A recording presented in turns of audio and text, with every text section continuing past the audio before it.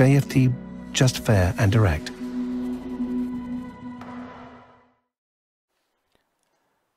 Good morning everyone and welcome to JFD's daily market review for July the 1st.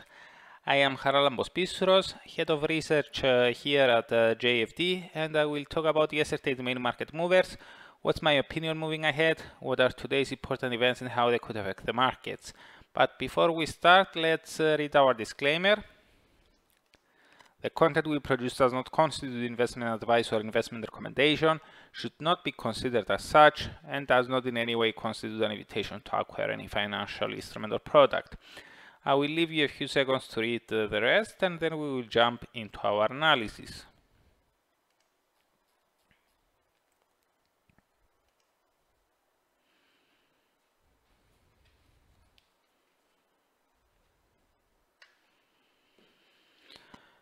Okay, the US dollar continued uh, to strengthen against uh, all the other major currencies at the last day of uh, the first half of 2021, recording its uh, biggest uh, monthly rise since November 2016. It gained the most versus uh, JPY, CHF and AUD, while it decked out the, it out the least gains against NZD and CAD. The strengthening of the US dollar and the weakening of the Aussie suggest that financial markets traded in a risk-off fashion yesterday and today in Asia.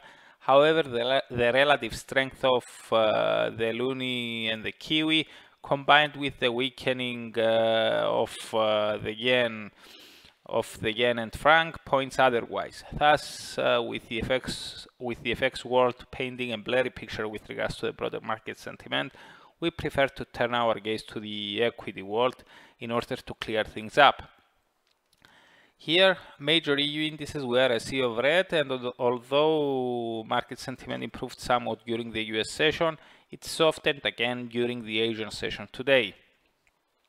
European equities slid yesterday despite Eurozone's inflation data confirming the view that the ECB is unlikely to start uh, considering withdrawing monetary policy support anytime soon. The headline rate uh, ticked down to 1.9% from 2% year over year, while the core one stayed unchanged at 0.9% year over year. European investors may have refrained to add to their risk uh, to their risk uh, exposure at the end of the month. Uh, excuse me, European investors may have refrained to add to their risk exposure at the end of the month and uh, the end of the quarter, respectively, perhaps due to portfolio rebalancing. Sentiment improved during the US session with the Dow Jones gaining the most uh, and the S&P 500 hitting a fresh record high. Only Nasdaq slid somewhat. Market chatter suggests uh, that uh, this may have been due to the better than expected ADP employment report. That said, we don't believe that this uh, that uh, this was due to that. In our view, a strengthening labor market could uh, add more credence to the view that uh, of um, uh, could add more credence to the views of Fed officials who want to start raising interest rates as early as next year, which is negative for stocks. Remember that many stocks are valued based on their discounted earnings expected in the years ahead, and thus higher rates mean lower present values. Market participants may have come to that realization later during the Asian session today, and that's why appetite softened again. The next event that may affect expectations around the Fed's future plans is the official US employment report due out on Friday. Non-farm payrolls are, are expected to have increased by 700k, more than May's 559k, while the unemployment rate is anticipated to have ticked down to 5.7% from 5.8%. Average hourly earnings are anticipated to slow somewhat in monthly terms, but the year-over-year rate is forecast to have surged to 3.6% from 2%, adding fears that inflation may continue to fly well above the Fed's objective of 2%. This is likely to strengthen further the case for an earlier tightening by the Fed and um, and may add uh, extra support support uh, to the US dollar. At the same time, although this would mean further progress in the world's largest economy, it could hurt equities as uh, higher rates mean more expensive borrowing and, as we already noted, lower present values.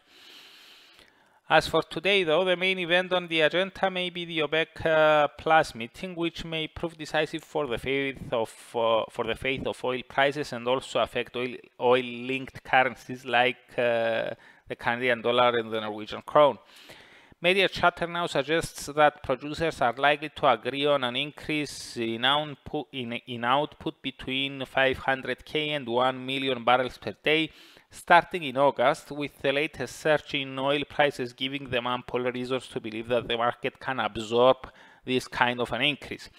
That said, although Russia is pushing for an increase, Saudi Arabia is more cautious. Therefore, with uh, that in mind and also taking into account concerns over uh, fresh restrictive measures due to the fast spreading of uh, the COVID Delta variant, which could result in decreasing demand, we believe that the final decision will be near the lower end of the range of expectations, namely at around 500k. In our view, this is unlikely to impact much the broader path of oil prices. It may allow the current uptrend to continue. For oil prices to correct and decently lower, we think that the number beyond 1 million uh, barrels per day may be needed.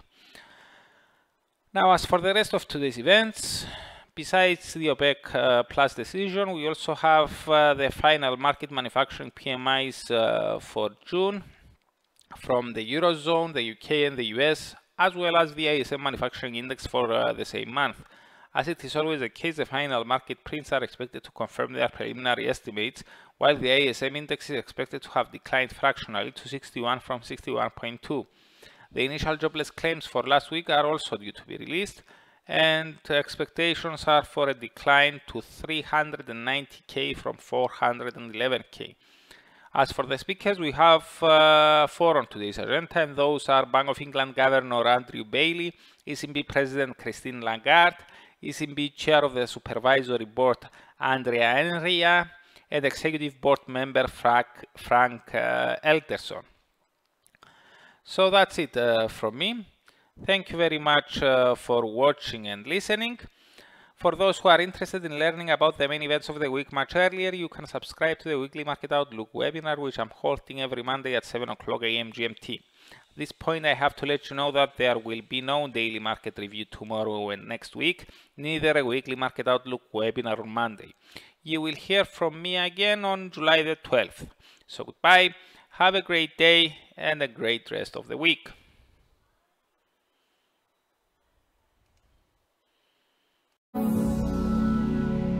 JFD, just fair and direct.